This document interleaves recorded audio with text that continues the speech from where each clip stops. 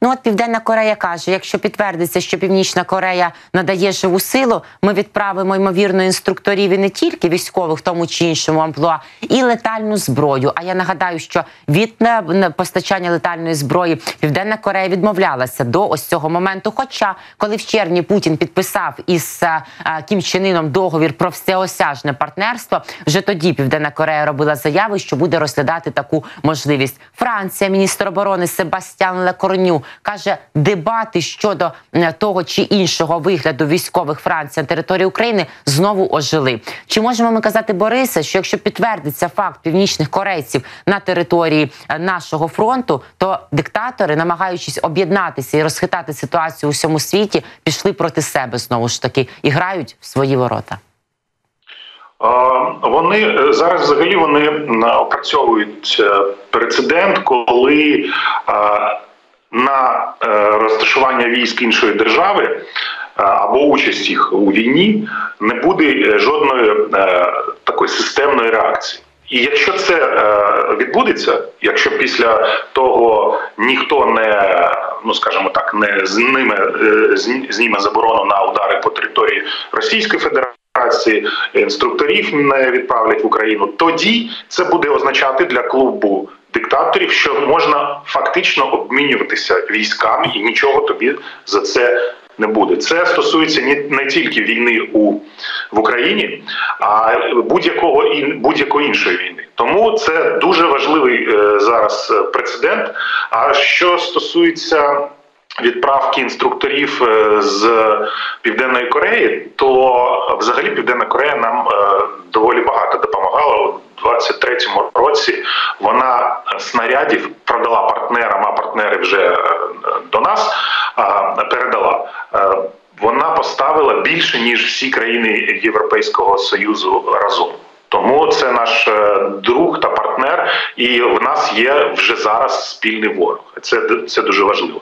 Так, що стосується до до речі, мені мене дуже тригернула тема з Гутерішем на саміті, про якого тільки що що Ірина розповідали, тому що е, це фактично легалізація Путіна як е, ну як не як диктатора, а як е,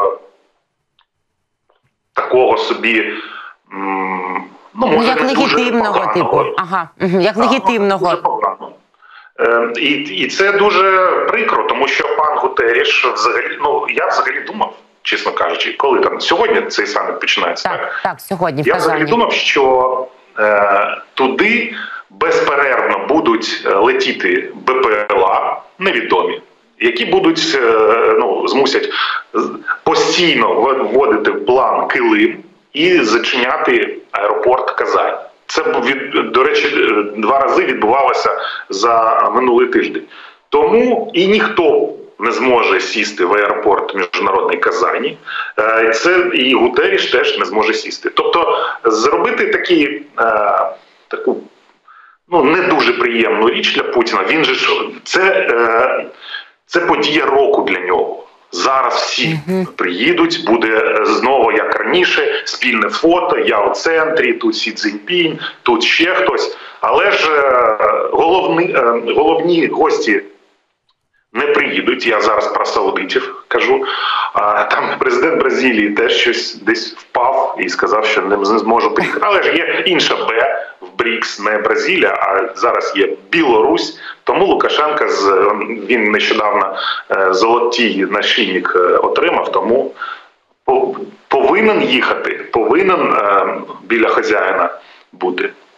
А от дійсно, Борисе, ми так бачимо, що Путін так хотів же ж представити це як найбільшу, найкращу геополітичну сходку на його землі року. Але е, ви правильно зазначили, що президент Бразилії то різна інформація надходить. То він десь в аварію втрапив бідолашний, то послизнувся невдало, то ну не їде, да не їде. Значить, Саудівська Аравія не їде, але є й такі, що їдуть, і Путіну це подобається. Ось цей Сі Цзіньпінь, згаданий власне показати, хто в домі господар. Тим не менше, але ж Путін думає інакше. Сі от їде та і каже, це це я покажу, що я тут в Бріксі головний. А Путін думає, що він тут ще грає якісь вагомі потужні інструментарії. А чи можуть вони ну так би не те, що посваритися з цього приводу, а піти різними шляхами? І чи може Сі Цзіньпін якимось чином казати Путіну, що ось ця його посилена співпраця з північною Кореєю не дуже йому подобається? Чи Сі це влаштовує?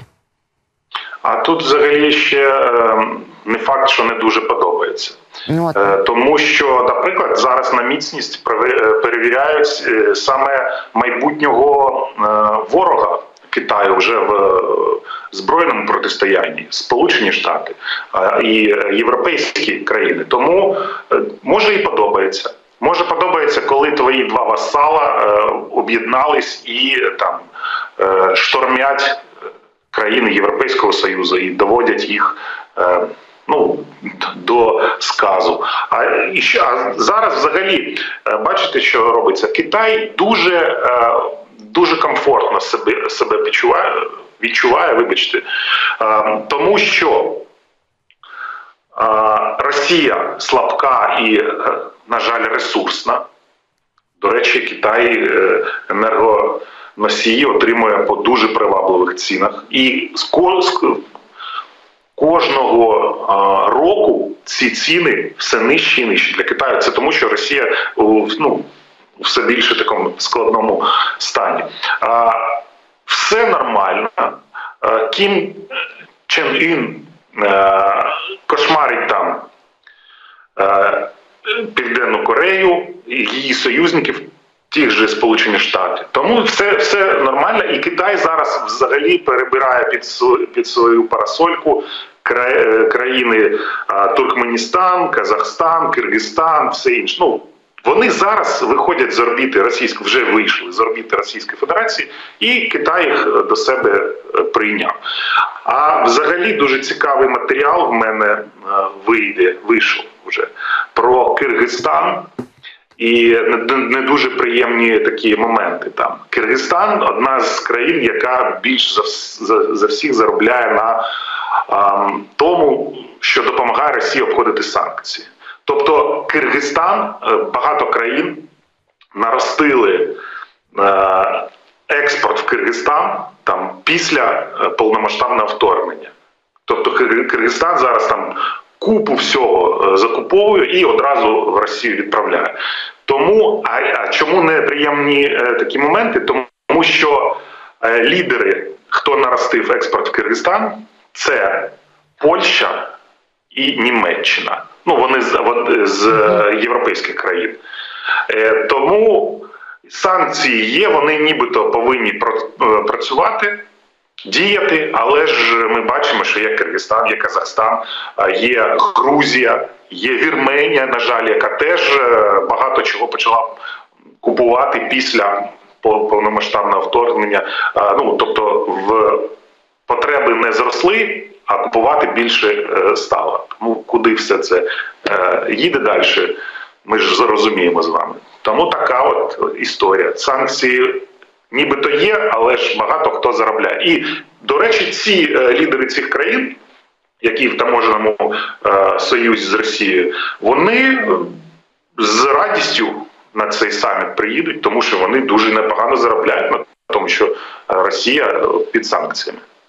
Борисе, тут мені ще подумалося про цих і ваших, і наших, і не всіх так однозначно. В Міністерстві закордонних справ провели зустріч з Ердоганом. Андрій Сибіга так зустрічався. е, Був візит до Туреччини. Дякували за непохитну підтримку суверенітету. Ну це дійсно так. Ердоган завжди каже, це Крим це Україна. Путін іди е, звідки прийшов е, з території тимчасово окупованого Криму. Принаймні завжди це лунають від різних представників Туреччини на різних рівнях і підкреслює зацікавленість, зокрема, і наша сторона в подальшому розвитку співпраці між Україною і Туреччиною в оборонній сфері, важливості забезпечення свободи судноплавства в Чорному морі. Але ж е, Ердоган е, буде представлений в Казані, наскільки я розумію, чи ні? І про що це тоді говоритиме? Як довго він буде сидіти на кількох стільцях одночасно? Ну, до речі, Турція взагалі може там е, доєднатися до БРІКС, незважаючи на те, що Турція країна НАТО. Тому Ердоган він зараз розуміє, що ну, наприклад, повинно розкладати яйця в інші в різні кошики. Тому він так і діє. А що він каже, а що тут такого? Ну Так, не хочу, щоб е, Сполучені Штати вказували мені, як я там повинен е, свою політику розвивати. Тому а це дуже цинічно. Це не має нічого спільного з міжнародним правом, з якимись там ну нормальними цінностями. Але ж він ну політика, це взагалі завжди була цинічна річ така. Тому. І не тільки він, до речі, а е, вибачте, Фіцо і Орбан, які в Європейському Союзі, і вони е, кажуть, що Україна в НАТО не повинна ніколи вступити. Це чому? Тому що ми повинні завжди бути буфером, е, щоб їх захищати. Чи може е, вони згодні з путінськими тезисами, що ем, війна почалася саме тому, що НАТО там кудись розширювалось? Ні. А якщо ви згодні з цими тезисами і, вважаєте, що Україна не повинна бути в НАТО, тоді. Тоді ви фактично можете е, там вийти самі самі з НАТО або з Європейського Союзу. Є там е, таможений союз. Ось туди. Ну да, да, тобто- там будуть раді. Але дійсно, да, Борисе, ну от підтверджується, що е, напередодні офіційно, що Ердоган летить до Казані, ніяк я не помилилася, бо про це раніше було неофіційно медіа повідомляли. Офіційно підтверджений візит. Він завтра буде там, буде говорити про проект газового хабу і не тільки. Гляньте, і газовий хаб буде створювати з Путіним. Е, Ердоган, до речі, теж що Туреччина встромляє палки в колеса на шляху до НАТО. Це ми бачили з Фінляндією, це ми бачили з Швецією. Тому ось а, але чому е, а, вон і- і нічого таким країнам, як Туреччина, як згадана вами е, Угорщина, і не тільки чому ніякі санкції зі сторони цих альянсів щодо них не діють, а навпаки, да, ви кажете, ну от не подобається, йдіть туди. А їм подобається все, їм подобається і тут. Значить, а Угорщині, наприклад, на фінансуванні ЄС ще сидіти. Їм подобається і в НАТО бути, бо НАТО це ж не якісь блоки від Росії, яких нет, які писані на бірісті, а не на офіційних документах. Бачите, їм все подобається. А якось треба проти них діяти чи ні? Ну проти них е, діють, але ж е, механізми, які зараз існують, вони дуже, е, дуже повільні і такі інерційні. Наприклад, є санкції проти.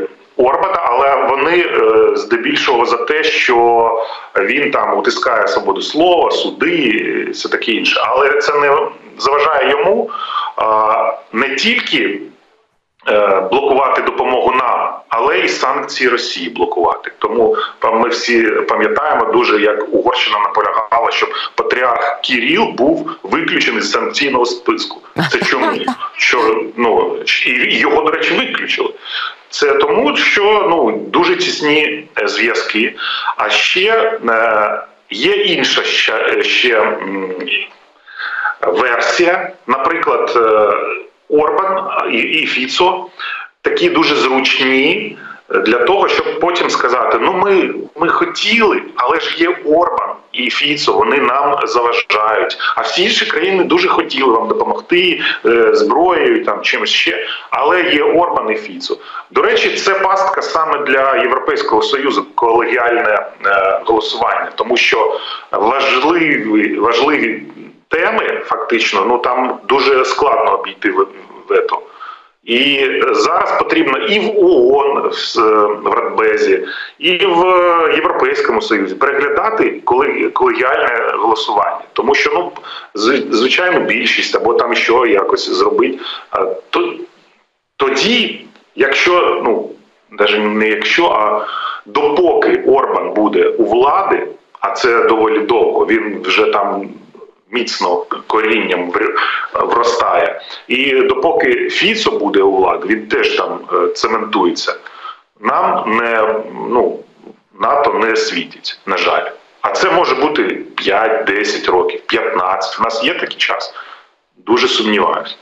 Борисе, я чую дедалі більше скептицизму на насправді, і, зокрема, від е, журналіста-публіциста нашого колеги Віталія Портникова і від е, шахматиста номер один в світі Гаррі Каспарова про те, що ну а що дасть нам це запрошення в НАТО? А чим НАТО продемонструвало, що це потужний альянс, який готовий задіювати п'яту статтю, або, наприклад, окей, четверту статтю, коли дрони неодноразово атакують кордони Польщі, Румунії, коли туди залітають на територію Польщі ракети, літають по хвилині 39 російські ракети країни НАТО порушують повітряний простір. Вилітають. Що діє НАТО? каже не гоже, треба провести експертизи. Хто літав, може якісь мошечки. Значить, а чи дійсно не тільки оце запрошення, яке ще може е, витягуватися і через супротив певних країн-членів, і потім в часі на виконання реформ, боротьби з корупцією, адаптування наших військових під військове НАТО. Що воно покаже Путіну? Що він розуміє тільки мову силу? Може, треба дати зброю і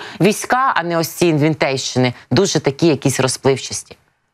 Е, Ну, це на перспективу. Е, Тобто я згоден, що може там якийсь інший варіант, якщо там в НАТО такі складнощі. Е, Але ж це потрібен бути військовий союз, де хоча б одна країна буде ядерною. Це може бути Франція, Великобританія, Сполучені Штати. Так, і ще, ще один момент. Е, Ну, п'яту, п'яту, п'яту статтю та може і не задіють, або задіють е, буде пізно, але ж Путін не хоче це перевіряти. Розумієте? І чудовим прикладом цього є Латвія, Літва і Естонія. Як там уж, е, уж як там з російськомовними не дуже церемоняться, то Путін вже давно зайшов, напав, але боїться. Боїться, і, до речі, е, Медведєв одного разу сказав наступне: що з НАТО конвенціональною зброєю воювати ніхто не буде. Одразу ми там ядерку застосуємо, але ж розуміють, що в, у відповідь буде те ж саме. Тому ніхто не хоче перевіряти, чи повільно, чи швидко застосує НАТО п'яту статтю. Ну і це гарантія, запобіжник тому, що е, Путін або його там е, ка- кабайониші після нього, або ще хтось там не прийде сюди знову. А добре, добре, Борисе. У нас 5 хвилин залишається. Ще є час обговорити приїзд е, Ллойда Остіна. Точніше, ну там що приїзд. Ну приїхав і приїхав. Останній при, приїзд. Нічого резонансного ми не почули, але нічого не очікували. Кажу, звірити годинники. Ну 400 мільйонів доларів пакет допомоги, то які в рамках виділених на загал коштів, я так розумію, був озвучений. Камала Харріс каже в інтерв'ю е, CNN про те, що якщо буде Трамп, то Путін сидітиме в Києві. А Трамп каже напередодні в інтерв'ю The Washington Post, да, якщо не помиляюся, каже: А я говорив з Путіним і казав, буде щіпати Україну, буду бомбити Кремль. А хтось з них не правий. Ну, ми розуміємо, що передвиборчу кампанію багато чого говорять. Можливо, там трошки там е, барв додають. Е, що- Що стосується того, чому Ллойд Остін приїжджав, так дійсно зараз там буде е, на цей період до інаугурації будуть такі пакети, ну окремі. Але ж я спостерігаю таку цікаву річ, що коли ми активізуємо удари по російських е, там якихось заводах або по НПЗ, або по арсеналах. Тоді завжди приїжджає е, хтось зі Сполучених Штатів і дає нам е, пакет допомоги. Але ж е, це тільки привід, але ж фактично може нас там до виборів попросять не розхитувати човен, як то кажуть. Але ж сьогодні страшне сталося по трьох сп- спіртзаводах. Українські так, по чотирьох вже навіть каже Коваленко. Я тут кажу Борисе, що у Медведєва і в Захарова, і, напевно, траури вони просять а, політичний притулок за кордоном, бо що же пить. Але насправді це впливає і на фронт. Е, Так, це впливає на фронт. е, І, до речі, е, учора по, по Кремній Л вчора прилетіло або позавчора. Кремній дуже, Л? дуже, Та позавчора, та та на суботу, в ніч на суботу. Чи то неділю, не сьогодні неділю. вже стало від так, так, неділю. І сьогодні стало відомо, що зупинилося, е, зупинився завод. Це дуже важливо, тому що він там напівпроводники е, для ВПК російського е, робить. Тому, коли ми активізуємось в ата... я удар по Санкт-Петербургу, дрон по Москві, по Підмосков'ю. Тому зараз, можливо, це все пов'язано з візитом Ллойда Остіна. І візит, візит цей був не запланований. Можливо, нас тут хтось приїхав у чомусь переконати. В чому? Е, Не знаю, я не тримав свічечку, але ж е, я пам'ятаю, що саме Ллойд Остін казав не бити по нафтопереробним та, та, завод. та. Мгм.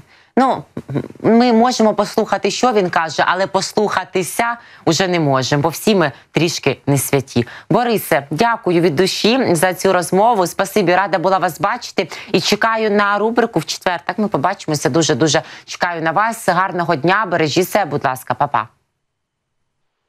Борис Тізенгаузен, це був